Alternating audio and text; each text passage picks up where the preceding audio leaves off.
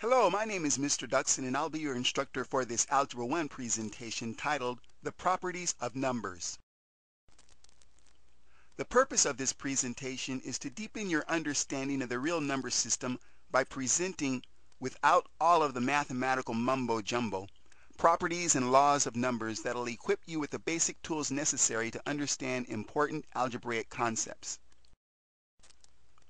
As you know, the basic operations of numbers are addition, multiplication, subtraction, and division, which are called binary operations because they're defined in terms of combining numbers two at a time.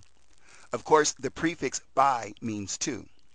And you're undoubtedly familiar with the symbols used to represent these operations, the symbols for plus, times, minus, and divide by.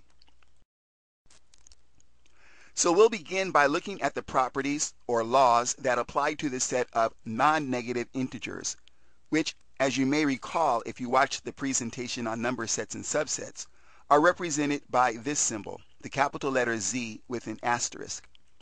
Non-negative integers are the numbers invented out of a need for counting, and the discussions of the basic operations on non-negative integers will, in turn, show the need for expanding this group of numbers to the set of real numbers.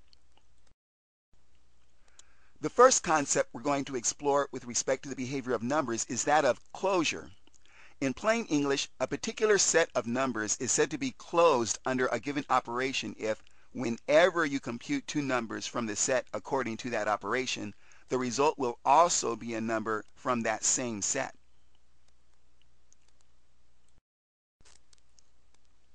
So, non-negative integers are said to be closed under addition because whenever you add two non-negative integers, you always get another non-negative